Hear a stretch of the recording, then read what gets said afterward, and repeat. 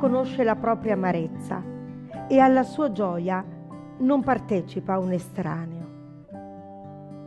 Oggi sei triste per qualche motivo? Nessuno capisce quello che hai nel cuore?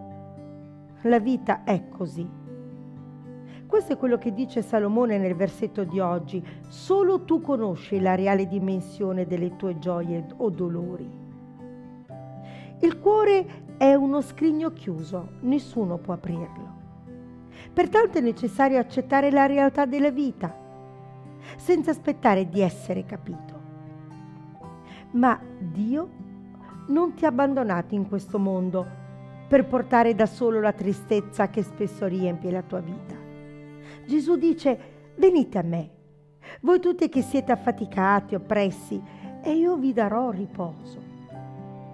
Gesù è un rifugio per chi è angosciato e per chi è triste, conforto per gli afflitti, speranza per i disperati, sicurezza per chi vive nella paura.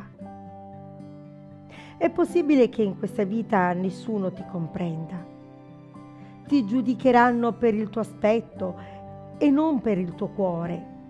Saranno impressionati dal tuo titolo di studio e non per la disposizione interiore che hai nel combattere e crescere. Se stai fermo, in attesa di essere compreso da altri, sprecherai la tua vita in lamenti e reclami e quando aprirai gli occhi il tempo sarà passato. Oggi accetta la sfida di costruire la vita in un modo diverso. Fai meno affidamento sugli esseri umani e più su Dio.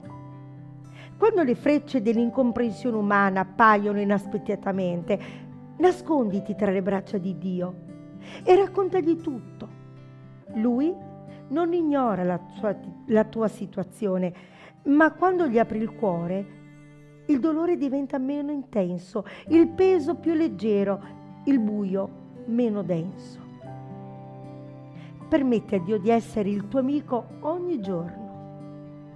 È meglio andare con Lui nel buio che camminare da soli in pieno giorno in attesa di essere compreso dalle persone. Invece di voler essere capito, cerca di capire. Invece di aspettare una mano, stendi la mano per soccorrere. C'è sempre qualcuno che ha più bisogno di te. La vita è così. E forse per questo quel dolore non fa così tanto male.